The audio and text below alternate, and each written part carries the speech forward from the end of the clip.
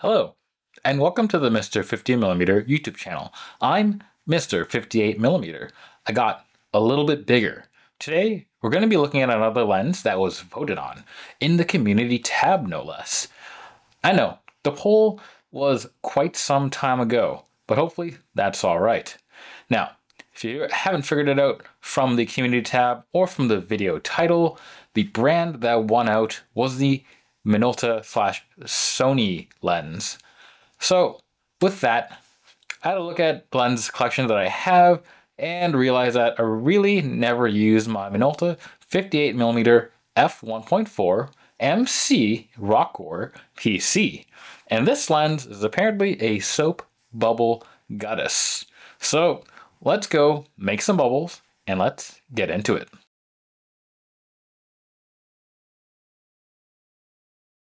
So what is the Minolta 58mm f1.4 MC Rokkor PF? This is it. And it is no spring chicken. It is more like a winter chicken maybe, or an ice age chicken. I'm not sure. This lens is a lens by Minolta, if that wasn't clear, and it was released in 1966. It is the MC variant of the SR bayonet mount, uh, and it has many iterations, with the most common one that you probably might have heard of being the MD mount, all of which are compatible with each other. Now, being an older lens, the build is very nice.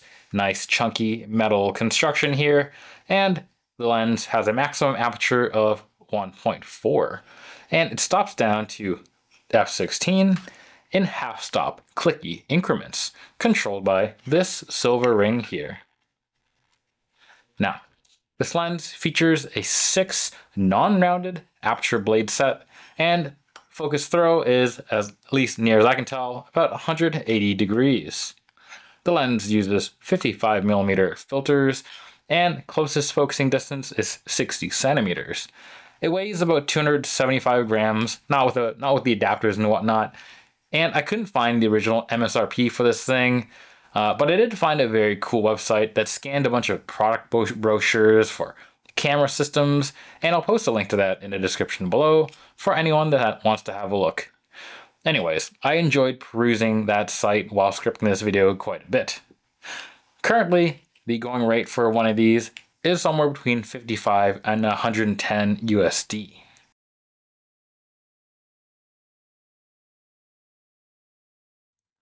Shooting with the Minolta 58mm.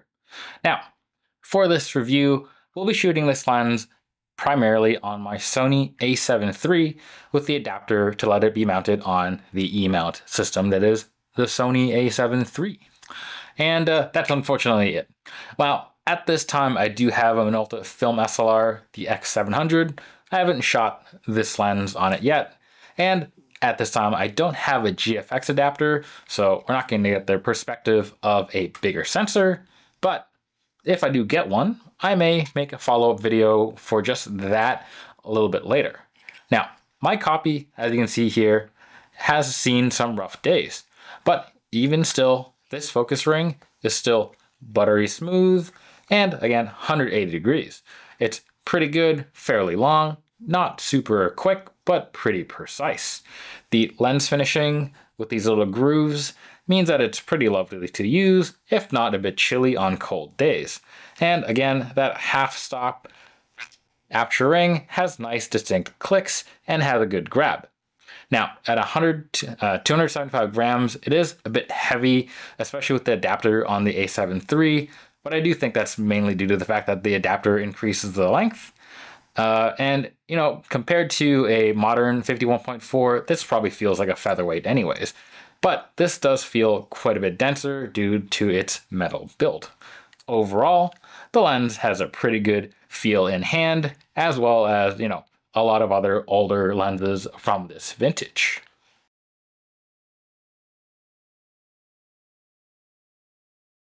Shooting with a Minolta 58mm, the image quality First off, this is a pretty vintage lens, and as a result, you can expect that at wide open apertures, you get, a bit of dreamy haze.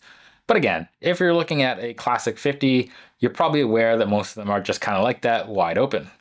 stop down to f2 and onward, and you mostly eliminate the dreaminess. So, you know, just keep that in mind if you're shooting this thing.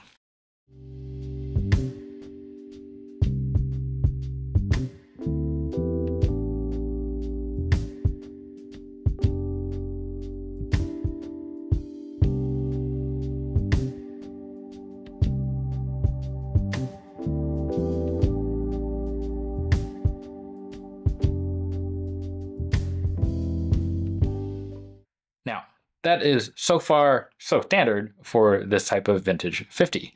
But what about vignetting? Well, wide open, it's pretty severe, but it's correctable in post. Or you could alternatively lean into it and use it as part of a way to, you know, frame up your subjects in the center. Now, the performance does get better when you stop down, and by f4 to 5.6, I find it pretty negligible. So again, things to keep in mind when shooting this classic 50.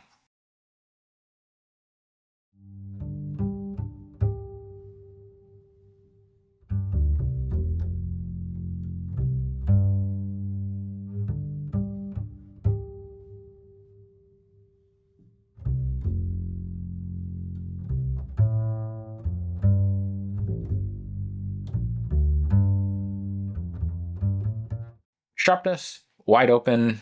It's not bad in the center. Again, you get that dreaminess, and it does make it seem softer than it actually is. Stopping down does dramatically improve it. And by about 2.8, the center is very good.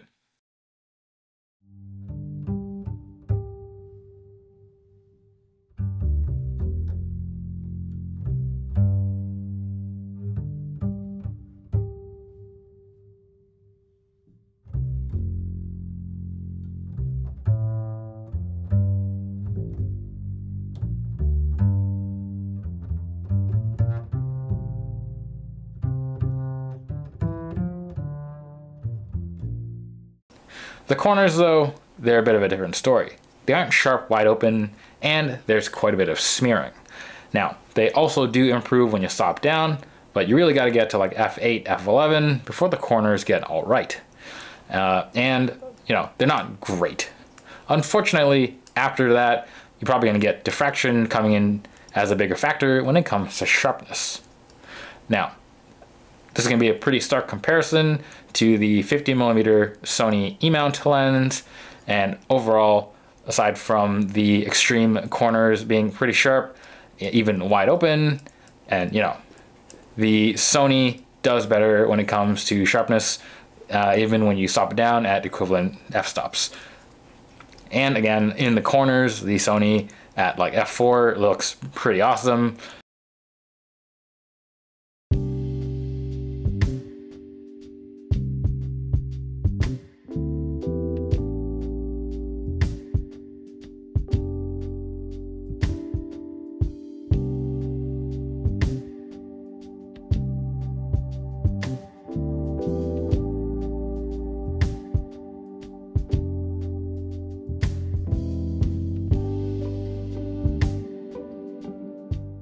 for color, I'm going to compare the, uh, again, the Sony E-mount with uh, this 58 millimeter.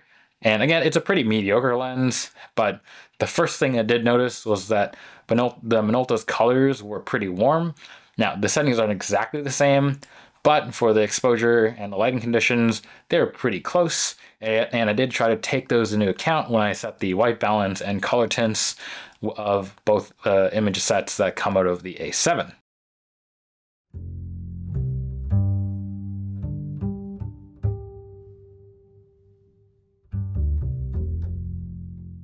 I do like the color rendition on the Minolta to the rendition on the Sony. But that's probably not what we're here for. We're here for bubbles and bokeh. That's the main reason why we're here, right? Well, that's good because you do create some pretty good bubbles when you use this lens. And it does make them in a pretty pronounced way. And, you know, if you're not aware, uh, the bubble effect is when the bokeh balls don't have a smooth transition, but have a bright edge around the perimeter. And this is typically seen as a flaw to be corrected in modern lenses, but, you know, Aside from modern lenses, there are lenses that do do this on purpose, like the TT Artisan 100mm f2.8 or the new old Meyer Optic Goerlitz Trioplan 100mm f2.8.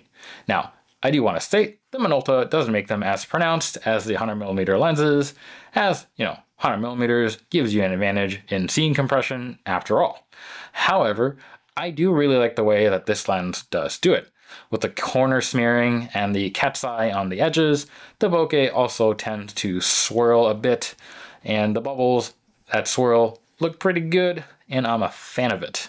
And yes, it can look busy in many scenarios, but you know, you're probably after that anyways if you want this lens.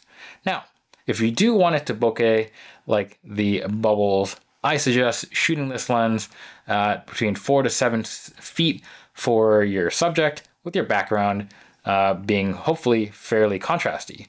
Foliage is a great background to set up to induce the bokeh uh, as the bubbles will kind of come up as a result of all the dramatic lighting changes.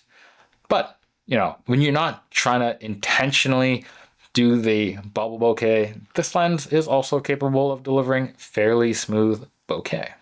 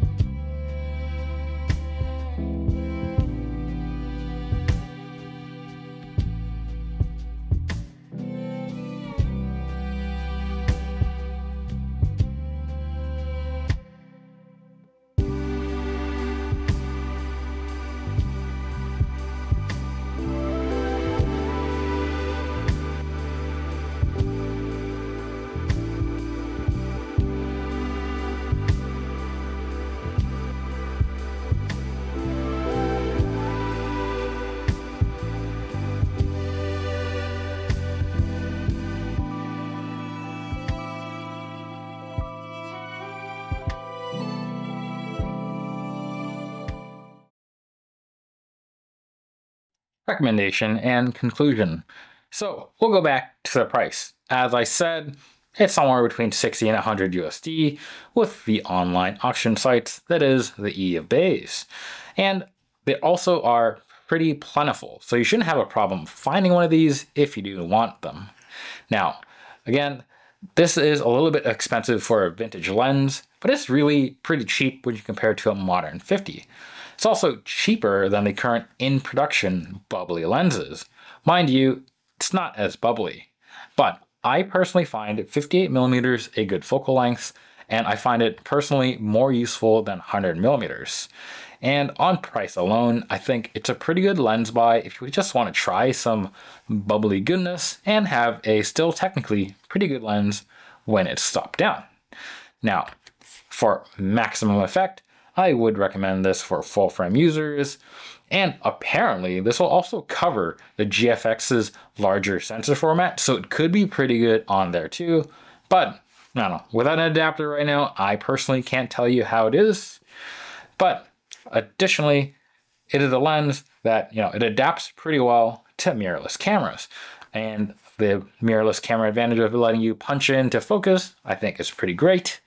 And I also don't actually think it's possible to adapt it to any DSLR mounts as the flange distance for the Minolta mount was pretty short. And I think that, uh, I think the only systems that really will let you work with achieving infinity focus that are DSLRs are the Olympus 4 thirds cameras, not the micro 4 thirds, although you can put it on that, and apparently Leica M. But, you know, back to the point about adapting it for mirrorlesses or mirrorless cameras.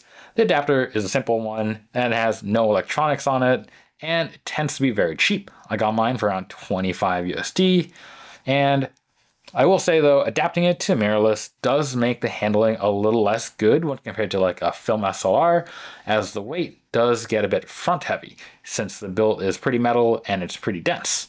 But, you know, I didn't notice it that much until I actually just put on my Sony 51.8, which is physically larger but a lot less dense. So the weight of weight balance just felt better with the Sony. But you know, really, that's that's about it. And you know, based on how long my uh, videos are, I think that's probably a good place to wrap it up. But question for you: Do you have one of these lenses, or do you like bubbly lenses? Or not care for it at all, or do you even hate it? Uh, either way, let me know in the comments below, and don't forget to like, comment, and subscribe. Maybe a super thanks if you're into that. Till next time, bye.